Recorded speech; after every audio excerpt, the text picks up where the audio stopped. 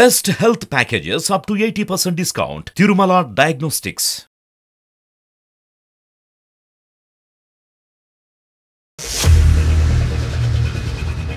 ఇంచుమించు మాకు four cameras ఆ కార్ని కవర్ చేస్తాయి మేడం వాటి ఫోర్ కెమెరాస్ మీద బ్లాక్ క్లాత్ కప్పు ఉన్నాయి సార్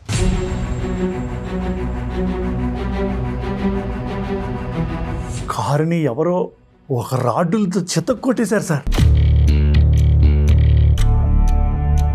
ఎవరైతే నేను అనుమానిస్తున్నానో ఆ నలుగురే ఆ కార్ని బ్రేక్ చేశారట సార్. ఆహా, అమ్మాయి చూసిందండి చూసింది ఆల్రెడీ మేడం. నేననే కాదు. ఇక్కడ ఉన్న నా కొలీగ్స్ అందరూ కూడా ప్రసాద్ గారిని చూసి చాలా ఇంప్రెస్ అవుతారు. అలా నేను ఇంప్రెస్ అయిపోయి తనకి నేను ఒక రోజు ప్రపోజ్ చేశానండి. తను రిజెక్ట్ చేశాడు. రోజు ఆ సిచ్యువేషన్ జరుగుతూ ఉంటే కళ్ళారా చూసి. ఏం చేయాలని అర్థం కాక వాష్రూమ్లోకి వెళ్ళి కాల్ చేసి ప్రసాద్ గారికి ఇన్ఫార్మ్ చేశాను. మరి అంత ఇష్టపడిన వ్యక్తి సమస్యలో ఉన్నప్పుడు కనీసం ఆ సమస్యలో నుంచి చిన్న హెల్ప్ చేయాలని నీకు అనిపించట్లేదా?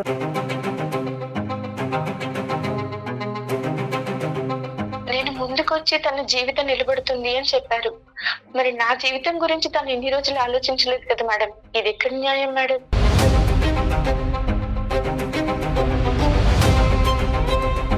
మిమ్మల్ని ప్రేమించానని చెప్పినందుకు నువ్వు సాక్ష్యం చెప్పండి అది ఎంతవరకు కరెక్ట్ ప్రసాద్ గారు? మీ అరవై లక్షల కారు నేను తక్కువ చేయట్లేదు. అది మీ ఉద్యోగం మీ కష్టానికి సంబంధించినటువంటి ప్రతిఫలం నేను అనిపిస్తుంది. కానీ ఏంటంటే నన్ను ప్రేమిస్తున్నావా లేదా?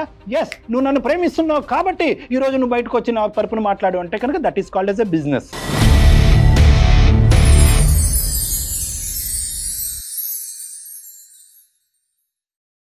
రెండు తెలుగు రాష్ట్రాలలో మొట్టమొదటి factory outlet jewellery shop Mukunda jewelleries. Mukunda jewellers సమర్పించు అందమైన జీవితం కార్యక్రమానికి స్వాగతం. నమస్తే కళ్యాణ్ గారు. సుజయ్ గారు పక్కకు వచ్చారు పక్కకు వచ్చాం. ఎందుకంటే మన ఇద్దరితో పాటు మూడో వ్యక్తి కూడా వస్తున్నారు కాబట్టి షోలో. సో కొంచెం చిన్న చిన్న మార్పులు చేసుకోవాల్సి వచ్చిందండి. వెరీ గుడ్ ప్రసాద్ అని ఆయన ఒక ఇష్యూ అండి. ప్రసాద్ గారు. ప్రసాద్ గారి ఇష్యూ ఇప్పుడు మనం డిస్కస్ చేయబోతున్నాం. Hmm. మనందరికీ తెలిసిన విషయం కళ్యాణ్ గారు మనం ఎక్కడో చోట ఏదో ఒక సందర్భంలో వినుంటాం. Hmm. లేట్ ఎందుకు ఆయన పిలిచేద్దామండి. ప్రసాద్ గారు వచ్చేసేయండి ఒకసారి.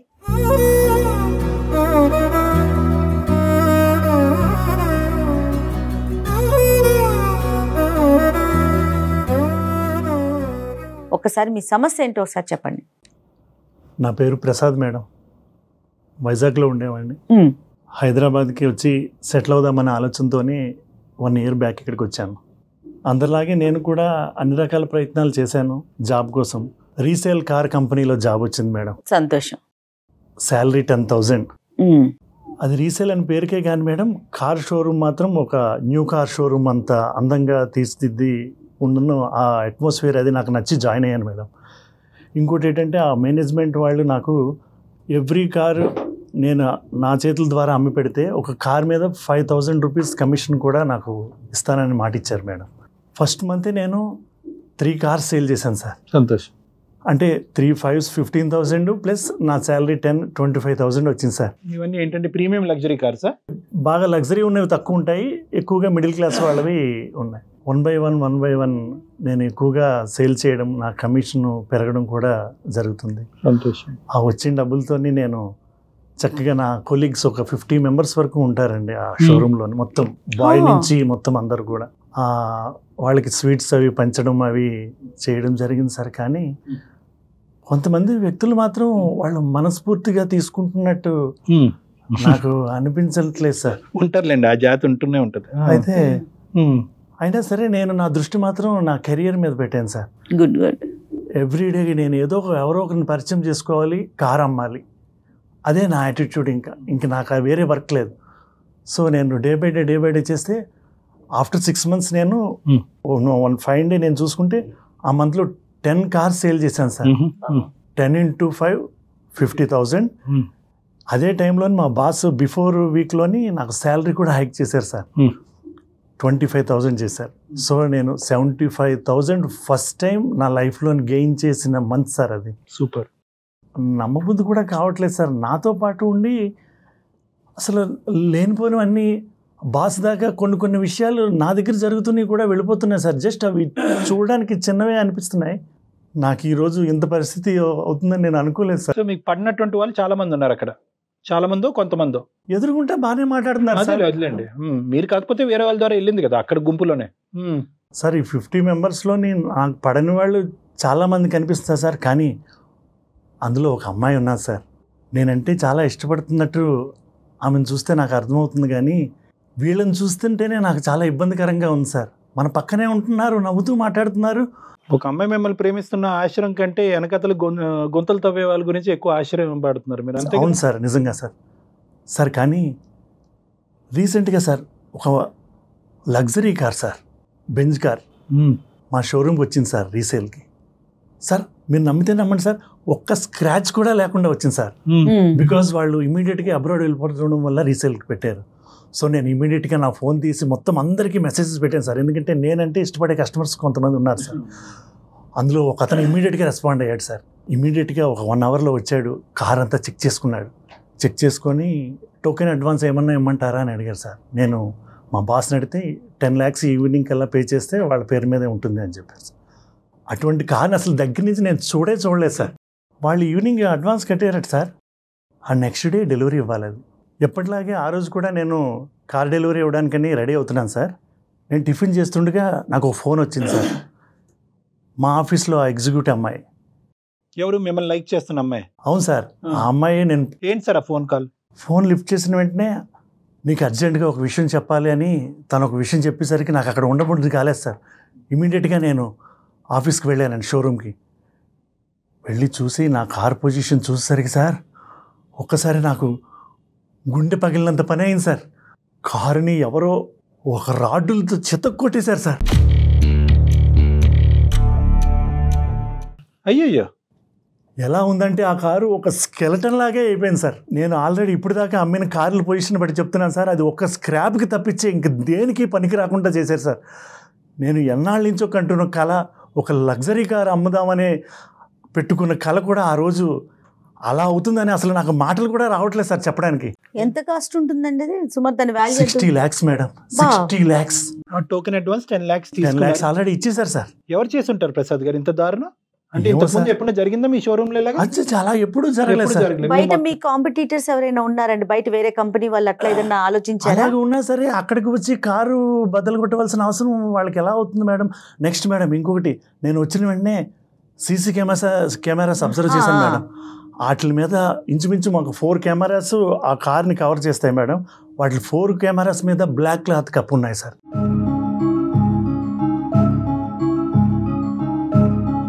ప్రసాద్ గారు ఇప్పుడు కెమెరాస్ మీద క్లాత్ వేసింది అన్నారు ఎవరి మీద అనుమానం ఉంది? అప్పుడు కాంపిటీటర్స్ వచ్చే అవకాశం లేదంటున్నారు. అవును మేడం. ఎవరి మీద డౌట్ ఉండింది మాతో పాటు పనిచేస్తున్న చెప్పాను కదా మేడం ఒక ఫోర్ కొలీగ్స్ మాత్రం వాళ్ళ మీద మాత్రం నాకు చాలా ఇదిగా ఉంది మేడం అనుమానం కానీ అనుమానం ఏంటి మేడం కాన్ఫిడెంటే ఇప్పుడు ఈ కారుని చేయటం వల్ల వాళ్ళకి వచ్చే లాభం ఏంటి? అంటే కారు అయితే డెలివరీ వెళ్తే అడ్వాన్స్ టెన్ ల్యాక్స్ వెనక్కి ఇస్తారు. దీనివల్ల మీకు అంటే మీకు వచ్చేది ఆ ఫైవ్ థౌసండ్ ఇన్సెంటివ్ మీకు రాకూడదనేనా వీళ్ళు చేశారు? లేదంటే మేనేజర్ దగ్గర మీరు మార్కులు కొట్టకూడదనా? సార్ ఇప్పుడు ఆ కారు బద్దలు కొట్టినట్టు ఎవరు కొట్టారో తెలియతే ప్రూఫ్ లేకపోతే మొత్తం దాని మీద ఉన్నదంతా నా మీద పడి నాకు అక్కడి నుంచి జాబ్ పోవడం కానీ ఏముంది సార్ ఈ రోజుల్లో. సీసీటీవీలు కప్పారు. ఓకే ఎవిడెన్స్లో అది పోలీసులు రాబట్టే విధంగా రాబడతారులేండి. బయట ఎవిడెన్స్ దొరుకుతాయి. చుట్టుపక్కల షాపుల ఎవిడెన్స్లు ఇవన్నీ రకరకాలు ఉంటాయి. పోలీసుల దగ్గర లేనటువంటి బ్రహ్మాస్త్రం ఉంటుంది. వీళ్ళు తెలివితేటలు ఉంటే వాళ్ళు తెలివి మీరిన వాళ్ళు అయి ఉంటారు. కానీ ఇన్సూరెన్స్ ఆబ్వియస్లీ ఇలాంటి కార్స్కి ఇన్సూరెన్స్ సార్ ఇన్సూరెన్స్ ఆ థాట్ కూడా నాకు వచ్చింది సార్. ఇన్సూరెన్స్ మీకు ప్రూఫ్ ఉండాలి కదా సార్? ఏదైనా యాక్సిడెంట్ కదా ఇన్సూరెన్స్ వాళ్ళు ఇస్తారు. కాదు ప్రసాద్ గారు కంప్లైంట్ ఇవ్వటం చేశారా? జరిగిందా? ఇమీడియట్గా వచ్చారు మేడం పోలీసులు. వాళ్ళు చేయవలసిందంతా చేశారు చూశారు. నాకు అడిగారు మీకు ఎవరి మీద అనుమానం ఉందా? అని నేను వాళ్ళకి చెప్పాను. వాళ్ళు ఎంక్వైరీ చేశారు. చూస్తాము చేస్తాము మళ్ళీ ఇన్ఫామ్ చేస్తామని వెళ్ళారు మేడం. మరి మీ మేనేజర్ ఉంటారు కదండి బాస్? బాస్ కూడా ప్రూఫ్ లేకుండా ఇది నాకు సంబంధం లేదు నీ ఆధ్వర్యంలోనే జరిగింది కాబట్టి దీని రెస్పాన్సిబిలిటీ నీవే అని ఆయన కూడా వాళ్ళు ట్రై చేశారో. అది జరుగుతుంది అతని లైఫ్లో అదే ఇప్పుడు ఏంటంటే ఏదైతే బాస్కి ఇతనికి మధ్యన ఒక నెగిటివిటీ క్లియర్ చేయాలి ఏదైతే ఎస్కలేషన్ ఉందో అది డిఫాల్ట్ అవ్వాలి కింద పడాలి. ఎస్ ఎస్ ఎక్కడో చోట ఏ ఆధారం లేకుండా ఉంటది గురుగారు? చెప్పండి. సార్ ఇప్పుడే మీకు విషయం చెప్పాలి సార్. ప్రపోజ్ చేస్తున్న అమ్మాయి ఉన్నది కదా సార్. ఆ అమ్మాయి ఫోన్లో చెప్పిన విషయం అయితే అదే సార్. ఆ అమ్మాయి ప్రత్యక్షంగా చూసిందట ఎవరైతే నేను అనుమానిస్తున్నానో ఆ నలుగురే ఆ కార్ని బ్రేక్ చేశారట సార్.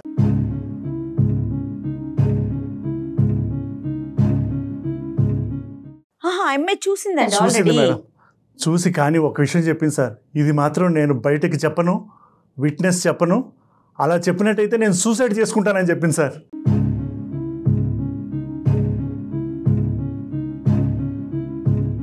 సీసీటీవీ ఫుటేజ్ కూడా కప్పినటువంటి వాళ్ళు ఈ అమ్మాయి ఏ మూలను చూసింది ఎలా చూసింది లేదంటే వాళ్ళు ఇలా మాట్లాడుకుంటుండగా ఈ అమ్మాయి విందా? సన్నివేశాన్ని చూసిందా? వాళ్ళు గుసగుసలు విందా? Right sir. ఆ రోజు ఆమె బర్త్డే అట్ సార్. రైట్. నన్ను కలవడానికని ఎర్లీగా తన ఇంట్లో చేసిన స్వీట్స్ పట్టుకొని వచ్చిందట సార్. అది కూడా తను చెప్పిన విషయమే. కారుని ఫుల్గా బ్రేక్ చేస్తూ ఎవరైతే నేను అనుమానంగా అనుకుంటున్నానో వా నలుగురే బ్రేక్ చేయడం తను చూసిందట సార్. ఆ విషయమే తను నాకు ఫోన్ చేసి చెప్పింది సార్. సో అమ్మాయి చూసింది. కానీ తను విట్నెస్ ఇవ్వడానికి రెడీగా లేదు. ఏమన్నా అయితే వాళ్ళు బెదిరించారనో తను సూసైడ్ చేసుకుంటారనో చెప్తుంది సార్. అమ్మాయి భయపడుతుంది. సో తన కళ్ళతో తను చూసింది చూసిందని. చెప్పింది మేడం. మరి ఇప్పుడు ఇప్పుడు ఏం కావాలి మీకు? అంటే ఈ అమ్మాయి వచ్చి ఆ సాక్ష్యాధార అంటే ఒక సాక్ష్యం చెప్పాలా? ఈ నలుగురు వాళ్ళు సార్ ఇప్పుడు. పోలీసుల దగ్గరికి అయితే సాక్ష్యం కావాలి కదా సార్. ఆ అమ్మాయి కూడా ఎలాగో నేను ఇష్టపడుతుందని అంటుంది కాబట్టి కొంచెం మీరు ఏమన్నా ఆ అమ్మాయితో కొంచెం మాట్లాడి అది ఇంటెన్సిటీ కావాలి ప్రసాద్ గారు. ఇప్పుడు ఏంటంటే ఎంత లోతుగా మీరు వెళ్ళారు దాన్ని బట్టి ఆ అమ్మాయిని మనం ప్రశ్నించి ముందుకు తీసుకొచ్చి అమ్మ ఒక సాక్ష్యం చెప్పు బంగారు తల్లి అతని జీవితం బాగుపడదని చెప్పొచ్చు మనం. ఎంతవరకు వెళ్ళారు మీ డెప్త్ ఎంత? సార్ ఇప్పుడు దాకా అయితే అలా ఏం జరగలేదు సార్. లేదు. బట్ ఆ అమ్మాయి వైపు నుంచి మాత్రం హండ్రెడ్ పర్సెంట్ ఆ అమ్మాయి నన్ను 100% ఇష్టపడుతుంది సార్. లేదంటే మీకు ఫోనే చేయదుగా? అదే సార్ నేను కావాలనుకుంటుంది అమ్మాయి? నేను ఆ, అనుకుంటున్నా అది. కూడా అదే సార్. కానీ ఎక్కడో మూల ఆ అమ్మాయి నాకు హెల్ప్ చేస్తుందని మాత్రం తప్పకుండా నాకు అనిపిస్తుంది సార్. ఇక్కడ ఒక డైరెక్షన్లో మేము వెళ్ళాం ఒక డైరెక్షన్లో మేము వెళ్తే కనుక ఆ అమ్మాయి వర్జన్ కూడా మనం విందాం. మనం ఏంటంటే అమ్మ ఇది ప్రేమ అమ్మ ఇది జీవితం అమ్మ అతని జీవితాన్ని నువ్వే కాపాడాలంటే నా జీవితాన్ని ఎవడు కాపాడతాడండి బాబా అని అంటారు. సో ఇక్కడ ఏంటంటే మీరు నేను ఎందుకు ఇదంతా ఆ అమ్మాయితో ఫోన్ మాట్లాడే ముందు ఏంటంటే ఎన్ని జీవితాలు కాపాడి ఎన్ని కథలకి ఒక సుఖాంతమైనటువంటి కథను మేము ఇచ్చినా కూడా ఒక ఎండింగ్ ఇచ్చినా కూడా మేము మేము ఎప్పుడు కూడా బయలాటర్గా ఓన్లీ ఇక్కడికి వచ్చి కూర్చున్నటువంటి బాధితుడి పాయింట్ ఆఫ్ వ్యూలోనే మేము ఆలోచించాం. అటువైపు మాట్లాడేటటువంటి వ్యక్తురాలను వ్యక్తిని కూడా ఆవిడ ఆవిడ కూడా విక్టిమ్మా ఆవిడ కూడా బాధితురాలు అనేటటువంటి అంశంతోనే ముందుకెళ్ళటం వల్ల ఈ రోజు ఈ అందమైన జీవితం అనే కార్యక్రమం అంత సక్సెస్ఫుల్ అయ్యింది. ఎంతో మందికి జీవితాలకి మేము ప్రాణాలు పోసిన వాళ్ళం అయ్యాం. సో కాబట్టి ఏంటంటే we will try our best ఆ అమ్మాయి వర్జన్ మనం విందాం. దాన్ని బట్టి మీకు సొల్యూషన్ దొరుకుతుందిలే చూద్దాం. ప్రసాద్ గారికి కాల్ చేస్తారు ఒకసారి? చేస్తాను మేడం. నేను కూడా మీకు అదే చెప్తున్నాను. ఎందుకంటే తన వెర్షన్ కూడా మీరు వింటే మీకు కూడా ఒక ఐడెంటిఫికేషన్ వస్తుంది మేడం.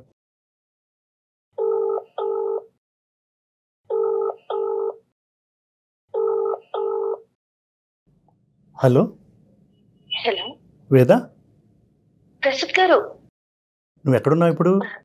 ఆఫీస్లో ఉన్నానండి. ఆహా ఇంకెవరైనా వచ్చారా? పోలీసులు అని ఎవరన్నా? ఆ వచ్చారండి. వచ్చి చూసి ఎంక్వైరీ చేసి వెళ్తూ ఉన్నారు. మీరు ఆఫీస్కి రాలేదండి కార్ టెన్షన్లో ఉన్నాను వేద. ఇప్పుడు ఇప్పుడైనా నేను రిక్వెస్ట్ చేస్తున్నాను. నువ్వు ఒకసారి నాకు ఈ ప్రాబ్లం నుంచి బయటపడే మార్గం ఏమన్నా చెప్పొచ్చు కదా? ప్రసాద్ గారు ఒక మినిట్స్ అండి. నేను ఆఫీస్లో ఉన్నాను. పైకి వచ్చి మాట్లాడతాను. టెరెస్ పైకి ఒక టూ మినిట్స్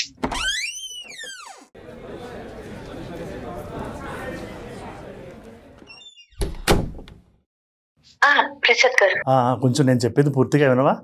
చెప్పండి ప్రసాద్ గారు. నేను ఈ టెన్షన్లోంచి పడే మార్గం నాకేమీ తోచక మన సుమన్ టీవీ వాళ్ళది అందమైన జీవితం అనే కార్యక్రమం జరుగుతుంది. నేను వాళ్ళకి వాట్సాప్ చేసి ప్రస్తుతం వాళ్ళని కలిసి వాళ్ళ దగ్గరే ఉన్నాను. ఏంటండి? నేనేదో మిమ్మల్ని లవ్ చేసి ఫీల్ అయ్యి నేను మీకు చెప్తే మీరు ఇలా అందరి ముందు వెళ్ళి నన్ను మాట్లాడమంటే నేను ఎలా మాట్లాడగలండి వీళ్ళు కౌన్సిలర్స్ ఇటువంటి ప్రాబ్లమ్స్ ఏమన్నా ఉన్నట్టయితే వాళ్ళు సొల్యూషన్ చెప్తారు. అమ్మ అలా కాదండి. అలా కాదండి. నేను చెప్పేది వినండి. రెస్పాన్స్ సారీ అమ్మా నీ ప- నీ నీ ప్రైవేట్ ఇష్యూ ఇక్కడ పబ్లిక్ అవుతుందో పంచాయతీ పెట్టామని దయచేసి అనుకోవద్దమ్మా. ఇదేంటంటే ఇప్పుడు అతను ఆ, మాట్లాడొచ్చమ్మా నేను? అమ్మ నేను మాట్లాడచ్చా? నేను డాక్టర్ కళ్యాణ్ చక్రవర్తి అందమైన జీవితం నుంచి. చెప్పండి. థ్యాంక్స్ అమ్మ. ఓపెన్ హార్ట్గా అలా ఒప్పుకున్నందుకు థ్యాంక్ యూ నిన్ను సర్ప్రైజ్ చేయడం అనేది తప్పే. కానీ ఏంటంటే ఇప్పుడు అతను భయంకరమైనటువంటి పరిస్థితిలో ఉన్నాడు. ఏంటంటే ఈ ఇన్సూరెన్స్ వస్తుందో లేనటువంటి ఆ కార్ని డ్యామేజ్ చేసినటువంటి వాళ్ళు దానికంటే పెద్ద ట్విస్ట్ ఏంటంటే కనుక మీరు ఇష్టపూర్వకంగా వచ్చి అతను ప్రపోజ్ చేశారు అతను ప్రేమిస్తున్నారు అనేటటువంటి అంశం కూడా చెప్పాడు. కానీ ఇక్కడ పెద్ద ట్విస్ట్ ఏంటంటే కనుక ఎవరైతే కనుక అతిగా చాలా భారీ ఎత్తున ప్రేమించేటటువంటి వ్యక్తికే ఆ- దొ- ఆ దొంగలు ఎవరు అనేటటువంటిది కూడా తెలుసు. కానీ బయటకు వచ్చి చెప్పలేకపోతున్నారనే సందిగ్ధ పరిస్థితిలో అతను ఇక్కడికి వచ్చి కూర్చోవటం వల్ల వెంటనే ఏంటంటే అతను ఎక్సైట్మెంట్లో మీకు ఫోన్ చేయడం జరిగింది. మేము కూడా ఎక్కువ వివరాలు చెప్పకుండా మీకు అభ్యంతరం లేదు మీకు ఇబ్బంది లేదు అనుకుంటే మేము మాట్లాడతాం అమ్మా. లేదంటే తర్వాత అన్న మాట్లాడతాం. లేదే. లేదండి మాట్లాడతానండి. యాక్చువల్లీ నేను తనని మా ఆఫీస్లో జాయిన్ అయిన తర్వాత తన వర్క్ సిన్సియారిటీ అవన్నీ చూసి కస్టమర్స్తో మాట్లాడే పద్ధతి చూసి చాలా ఇంప్రెస్ అయ్యానండి. నేననే కాదు ఇక్కడ ఉన్న నా కొలీగ్స్ అందరూ కూడా ప్రసాద్ గారిని చూసి చాలా ఇంప్రెస్ అవుతారు. అలా నేను ఇంప్రెస్ అయిపోయి తనకి నేను ఒక రోజు ప్రపోజ్ చేశానండి. తను రిజెక్ట్ చేశాడు. ఈ టైంలో సడన్గా నేను తన మీద ఉన్న లవ్ తోని తనకి ఆ రోజు ఆ సిచ్యువేషన్ జరుగుతూ ఉంటే కళ్ళారా చూసి. ఏం చేయాలని అర్థం కాక వాష్రూమ్లోకి వెళ్ళి కాల్ చేసి ప్రసాద్ గారికి ఇన్ఫార్మ్ చేశాను. నేను అప్పుడే చెప్పాను ఈ విషయం నువ్వు ఎవరికైనా చెప్తే నన్ను వాళ్ళు చంపేస్తా అన్నారు. నా ఫ్యామిలీని కూడా బ్రతికేమనివ్వరు ఏం చేయాలని కూడా అర్థం కాదు ప్రసాద్ గారు. ఈ విషయం ఇంకెక్కడ కూడా చెప్పొద్దు అని కూడా నేను డిస్కస్ చేయలేదండి వేద గారు. వేద గారు ఆయన ఆయన కూడా ఎక్కడ చేయలేదు కానీ ఆయనకి ఎక్కడ ఏం చేయాలో పాలు పోక మా దాకా వచ్చారండి ఇది. మీరు అతను ఇష్టపడి అతనికి చెప్పడం అనేది ఎంతకాలం అయింది? ఫోర్ మంత్స్ అయింది సార్ ఫోర్ మంత్స్ అయింది. ఫోర్ మంత్స్ నుంచి అతని దగ్గర నుంచి ఏమైనా రెస్పాన్స్ వచ్చిందా మీకు? లేదు సార్ ఏ రోజు. కూడా నన్ను పట్టించుకోలేదు. కనీసం నేను తన వైపు ఆలోచిస్తున్నానని కూడా తను నన్ను నా గురించి ఆలోచించలేదు. ఏ ఒక్క రోజు కూడా నన్ను తను అసలు తను నాకు ప్రపోజ్ చేసిందన్న ఫీల్తో కూడా నన్ను చూడలేదు. మరి ఏమనిపిస్తుంది? ఆ అంశం గురించి నాకు చెప్పండి. మీరు వచ్చి బయటకు సాక్ష్యాల గురించి చెప్తారు లేదనేది వేరే విషయం. మరి దానివల్ల మీకు ఎటువంటి ఫీలింగ్ వస్తుంది లోపల? మీరు ఏమనుకుంటున్నారు? అంటే సార్ ఇన్ని రోజులు నేను తన గురించి చాలా వెయిట్ చేశాను సార్. ఎప్పుడన్నా కనీసం ఒక్కసారైనా ఉమ్, వేదాను అంటే ఇష్టం నాకు కూడా ఇష్టం అని కూడా ఏ రోజు చెప్పలేదు. కాకపోతే నేను మనస్ఫూర్తిగా ఈ క్షణం కూడా నాకు ప్రసాద్ గారు అంటే చాలా ఇష్టం అండి. Super super. So you love him you love him ఎలా అంటే సార్ నేను చాలా సిన్సియర్గా లవ్ చేస్తున్నాను. సో అంత ప్రేమిస్తున్నాను కాబట్టి వాళ్ళు నన్ను అంతలా బెదిరించినా కూడా వాళ్ళు ఏం బెదిరించారండి? అన్నా కూడా నేను వెళ్ళి ప్రసాద్ గారికి ఇన్ఫార్మ్ చేశాను. ఇది జరిగింది సిచ్యువేషన్ అని చెప్పి. వేద గారు ఎలా ఏమని బెదిరించారు? వాళ్ళు నన్ను కత్తితో బెదిరించి నువ్వు కనుక ఈ విషయం బయటకు చెప్పితే నిన్ను నీ ఫ్యామిలీని ఎవరిని ఉంచము నీకు అదే చివరి రోజు అవుతుంది అని చెప్పి నన్ను బెదిరించారు మేడం.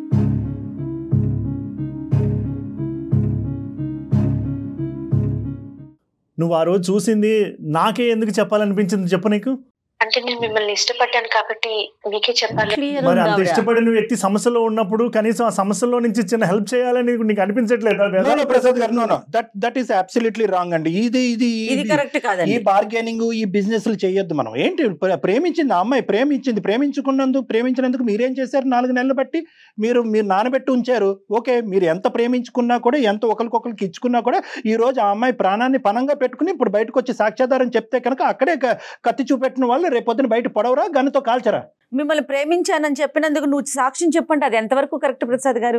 మీ అరవై లక్షల కారు నేను తక్కువ చేయట్లేదు. అది మీ ఉద్యోగం మీ కష్టానికి సంబంధించినటువంటి ప్రతిఫలం నేను అనిపిస్తుంది. కానీ ఏంటంటే మీ నలుగురు శత్రువుల్ని ఈ రోజు ఆ అమ్మాయి తన శత్రువుల కింద తయారు చేసుకోవటం అనేటటువంటిది ఎంతవరకు సబబు? కేవలం ప్రేమించింది అనేటటువంటి ఈ రోజు మీరు ఇక్కడ కూర్చున్నారు ప్రసాద్ గారు. ఆ అమ్మాయి మీరు ప్రపోజ్ చేయనటువంటి అమ్మాయి అయితే కనుక మీరు ఈ రోజు ఇక్కడ కూర్చుని ఉండేవారా? నాలుగు నెలలు బట్టి గాఢంగా ప్రేమిస్తున్న అమ్మాయి ప్రతి క్షణం మీ వైపు తల్లపెట్టి పెట్టి చూపెడుతుంది. ఆ అమ్మాయి ఇండికేషన్స్ అన్నీ కూడా మీరు కొట్టి పారేస్తున్నారు. ఆ అమ్మాయికి ఒక సమాధానం చెప్పలేకపోతున్నారు. మీరు లే- మీరు ఆ అమ్మాయి ఇచ్చినటువంటి ఆ ప్రేమ ఆ గుండె ధైర్యం వల్ల ఈ రోజు ఈ రోజు మీరు ఇక్కడ కూర్చున్నారు. మిమ్మల్ని మీ మీద మీ మీద నేను కఠినంగా మాట్లాడుతున్నాను అనకండి. నన్ను హెల్ప్ చేయి. వేదా అని మీరు ఇలా అడగండి. దట్స్ నాట్ ఏ ప్రాబ్లం ఇప్పుడు నన్ను ప్రేమిస్తున్నావా లేదా? ఎస్ నువ్వు నన్ను ప్రేమిస్తున్నావు కాబట్టి ఈ రోజు నువ్వు బయటకు వచ్చి నా తరపున మాట్లాడు అంటే కనుక that is called S A business ఇంకా అది ఇప్పుడు నువ్వు బయటకు వచ్చి చెప్పేవే అనుకో. పిచ్చి ప్రశ్న నేను అడుగుతుంది కానీ అడగటకి తప్పదు. నువ్వు వచ్చి చెప్తే ఏమవుతుందమ్మా? ఏం జరుగుతుంది? నిజంగా వాళ్ళు అన్నంత పని చేస్తారా? నా ఫ్యామిలీని నన్ను చంపేస్తానని బెదిరించారు సార్ వాళ్ళు నన్ను. వాళ్ళు ఎంత ప్లాన్గా వచ్చారు చూసారా? రెక్కి నిర్వహించి ఎన్ని కెమెరాలు ఉందో చూసుకుని వాటి మీద నల్లగొడ్డలను కప్పాలి. ఎవరు చూడనటువంటి సమయంలో ఓకే కళ్యాణ్ గారు. మన చుట్టూ ఒక యంత్రాంగం లేదంటారా? చెప్పండి. ఇప్పుడు వాళ్ళు ఇష్టం వచ్చినట్టు కెమెరాస్ మూసేసి కనిపించిన వాళ్ళని బెదిరించేసి మేము చంపేస్తామనేసి అంటే మనం పోలీసుల హెల్ప్ తీసుకోలేమా? మన దాకా వచ్చారు కాబట్టి. తర్వాత నా పరిస్థితి మేడం. నాకు జాబ్ ఉంటుందా మేడం? నా ఫ్యామిలీని అంతా నేను ఎలా లీడ్ చేసుకోవాలండి? ఎందుకు మేము ప్రత్యేకంగా దీన్ని సెలెక్ట్ చేసుకున్నాము అంటే కనుక ఈ పర్టికులర్ అంశం. ఒకటి ప్రసాద్ది కూడా చాలా సందిగ్ధమైనటువంటి పరిస్థితి మీది కూడా చాలా భయంకరమైనటువంటి క్లిష్టమైనటువంటి పరిస్థితి. ఈ రెండు అంశాలు ఇక్కడ ప్రధానంగా ముడిపడినాయి. ఎవరిది ఎక్కువ ఎవరిది తక్కువ అనేటటువంటి అంచనా వేయటం గురించి మేము లేదు. సానుకూలంగా ఇద్దరికి ఇబ్బంది లేకుండా ఒక కంక్లూజన్ తీసుకొద్దామని చెప్పి. ఇప్పుడు ఇంత కష్టపడి ఇంత దూరం వచ్చి ఇక్కడ కూర్చుని తన బాధను విల్లపించుకున్నటువంటి ప్రసాద్కి మేము ఒట్టి చేత్తో పంపించేటటువంటి ఉద్దేశం కాదు. కానీ అట్ ద సేమ్ టైం నీకు ప్రాబ్లం లేకుండా నువ్వు ముందుకొచ్చి ఏమైనా చేయగలవా అనేటటువంటి ఆలోచన దాని గురించి ఒక్క నిమిషం మనం ఆలోచించుకుని తీసుకుని మేము నీకు ఏదైనా ఒక పరిష్కారం చెప్తే కనుక అమ్మ ఈ విధంగా చెయ్యమ్మా అప్పుడు నువ్వు స్మూత్గా ముందుకెళ్ళొచ్చు అతనికి హ్యాపీగా అవుతాడు అని చెప్పడానికి మేము చెప్పే ముందు అసలు నువ్వు ఎంతవరకు ముందుకు రావడానికి రెడీగా ఉన్నావు అన్నది నువ్వు మాకు చెప్పాలమ్మా. కాదు వేద కొంచెం మీరు కొంచెం ధైర్యం చేసి ముందుకు వచ్చి మీరు ఒక్క మాట చెప్పారంటే అతని జీవితం అతని లైఫ్ నిలబడుతుందండి. ఒక్కసారి ఆలోచించండి. మేడం చెప్పండి. తను నేను నేను ముందుకొచ్చి తన జీవితం నిలబడుతుంది అని చెప్పారు. మరి నా జీవితం గురించి తను ఎన్ని రోజులు ఆలోచించలేదు కదా మేడం. ఇది ఎక్కడ న్యాయం మేడం?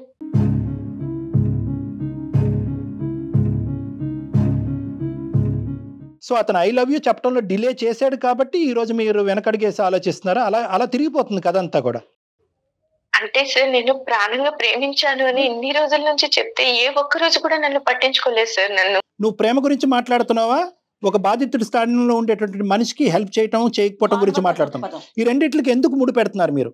నేను హెల్ప్ చే నేను ప్రేమించాను కాబట్టి హెల్ప్ చేయడానికి ముందుకు వస్తాను అంటున్నాను సార్ నేను అనట్లేదు మ- నా పరిస్థితి ఏంటి అని ఆలోచిస్తున్నాను ఆ హెల్ప్ చివరి వరకు వెళ్ళాలి. నిజంగా నువ్వు ప్రేమించుకోవటం గురించి హెల్ప్ చేయాలి ఏమండి ఆ నలుగురు పేర్లు అతను చెప్పానంటే అతను సావేదో అతను సావమన్నాడు అంటే కనుక నువ్వేం చిన్నపిల్లవు కాదు. నువ్వు అక్కడ కాదు. అక్కడ ఉన్నటువంటి ఏకైక సాక్ష్యాధారం నువ్వైనప్పుడు నిజంగా నువ్వు అక్కడి వరకు వెళ్ళింది చివరి వరకు వెళ్ళి ఆ నలుగురు పేర్లు పోలీస్ స్టేషన్లో చెప్పాలి పోలీసులని నాకు ప్రొటెక్షన్ ఇవ్వండి అతనికి ఎంత అయితే రిస్క్ ఉందో నాకు అంతే రిస్క్ ఉందని చెప్పి వాళ్ళని శిక్షించేటటువంటి పరిస్థితి వరకు తీసుకెళ్ళాలి. మీరు ఇప్పుడు అలా మాట్లాడట్లేదు. మేడం మీరు వచ్చి ముందుకు వచ్చి చెప్పమంటున్నారు నేను దానికి రెడీయే మరి నాలుగు నెలల వరకు నా ప్రేమను ఎందుకు నాంచాడో? ఆ మహానుభావుని అడగండి. అని మీరు చెప్తున్నారు. అసలు దానికి దీనికి మూడేంటమ్మా? ఈ రోజు ఏంటంటే మీరు అతన్ని ప్రేమిస్తున్నారు.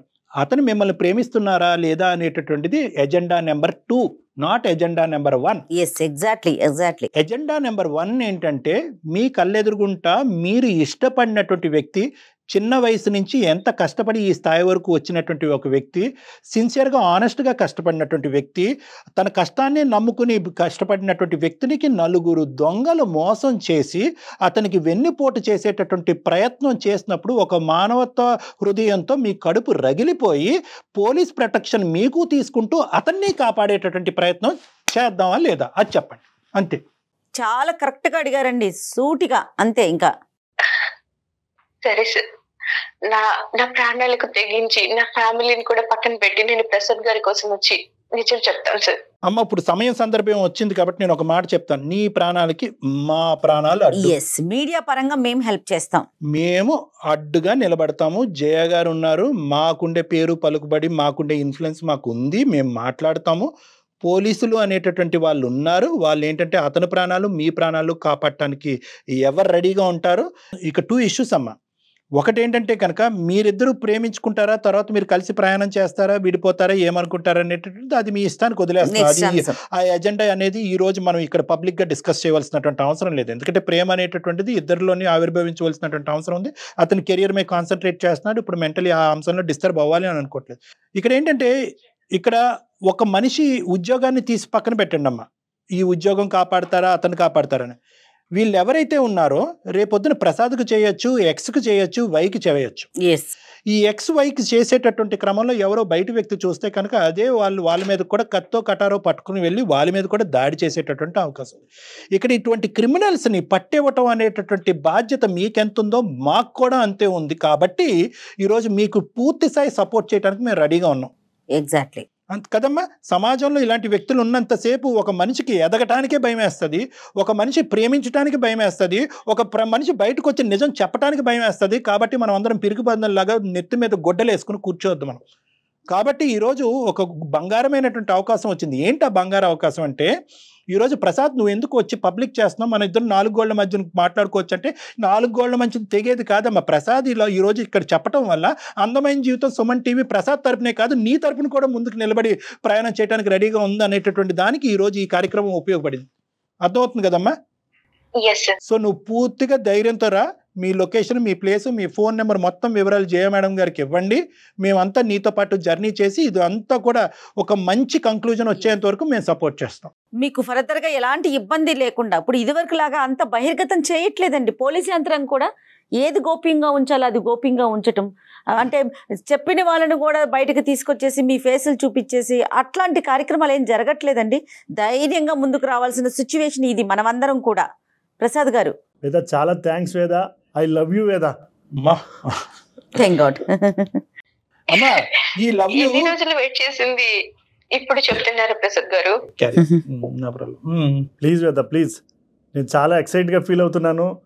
నిజంగా నా సమస్య నుంచి సార్తో పాటు నువ్వు కూడా నన్ను బయటికి తీసుకొస్తున్నందుకు నాకు చాలా ఆనందంగా ఉంది. I love you Veda I love you అమ్మా అతను అంత అతను ఎంత సిన్సియర్గా జెన్యున్గా చెప్తున్నాడు అనేది మా కళ్ళతో మేము చూస్తున్నాం అమ్మా నువ్వు ఏది కూడా ఇది నేను చెప్తాను అని ఒప్పుకున్నందుకు ప్రసాద్ గారు ముందుకు వచ్చి నాకు ఐ లవ్ యూ చెప్తున్నాడని దయచేసి మీరు. అనుకోవద్దు.